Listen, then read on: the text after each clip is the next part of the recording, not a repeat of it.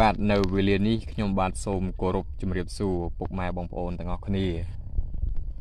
បាទនៅថ្ងៃនេះផងដែរគឺខ្ញុំបាទចង់បង្ហាញចែកជូនពុកម៉ែបងប្អូនទស្សនាកំសាន្តបាទអំពីវត្ថុដែលខ្ញុំបាទបានមានឧបនិស្ស័យរកបានរើបាននៅលើទីទួលភូមិចាស់ទីទួលបុរាណ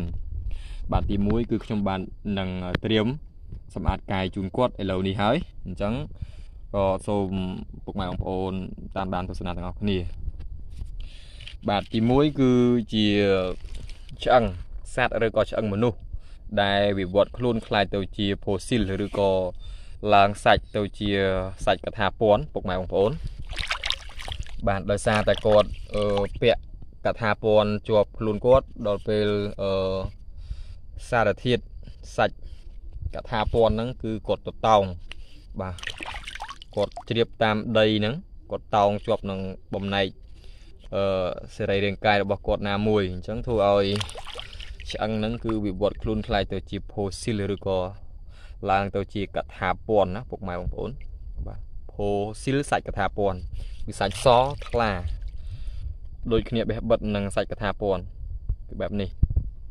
បាទទី1វត្ថុបែបនេះណាហ្នឹងហើយវត្ថុនេះគឺបែបហ្នឹង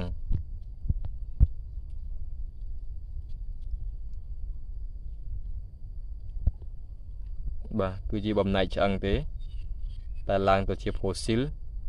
សាច់កថាពន់បាទសាច់ឡើងថ្លាសស្គុះតែម្ដងបាទវត្ថុទី1ហើយបន្ទាប់មកវត្ថុទី2នេះគឺបើតាមខ្ញុំបានសន្និដ្ឋាន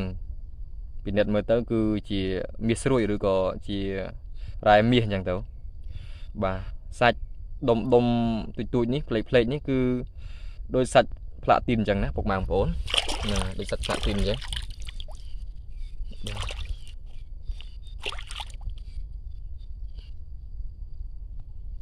ហ្នឹងហើយបាទគឺបែបនេះសម្អាតកាយជូនគាត់ហើយ បាទចំណុចដុំដុំដុំដុំតិចតូចនេះគឺមើលទៅដូចសាច់ផ្លាទីនអញ្ចឹង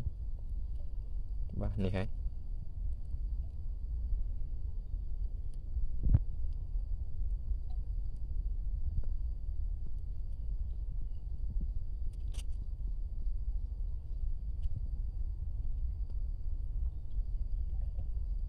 បាទនេះចំណុចតូចតូចដុំដុំនេះណាពុកម៉ែបងប្អូនបាទវត្ថុទី2គឺបែបហ្នឹង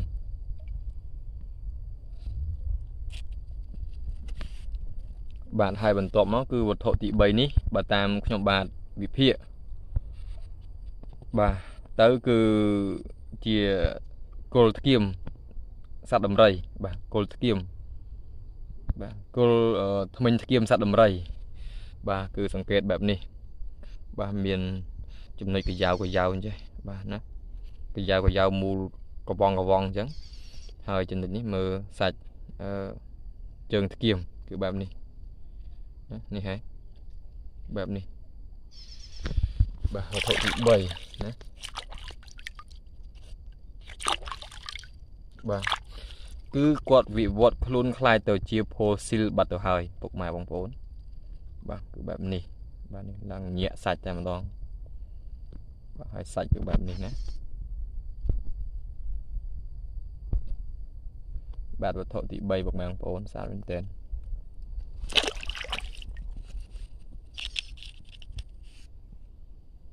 ហើយបន្ទាប់មកគឺ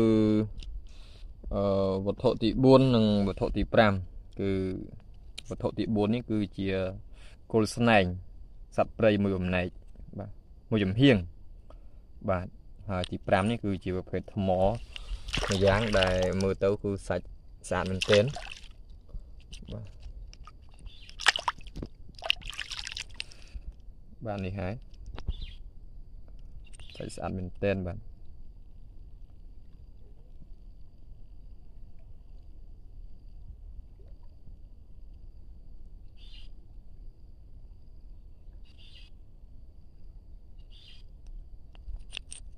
បាទវត្ថុទី4និងវត្ថុទី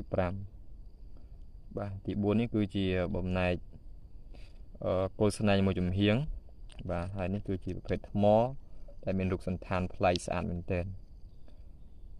បាទ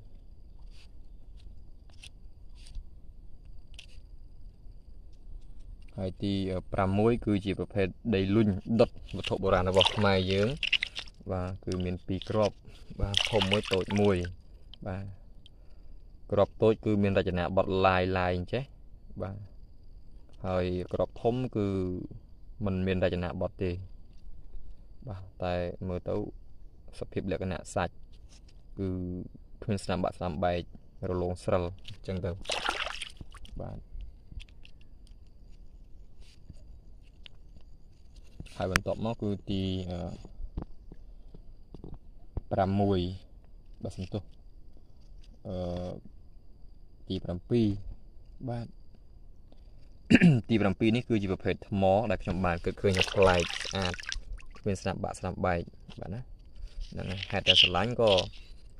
ចេះតែសន្សំទុកបាទសម្រាប់គោរពបូជាគ្រប់ថែសាហ្នឹង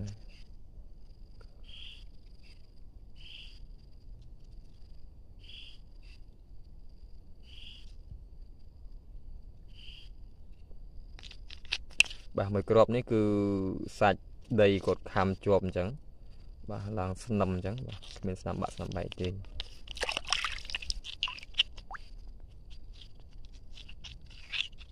បាទវត្ថុទី7ណាពុកម៉ែបងប្អូន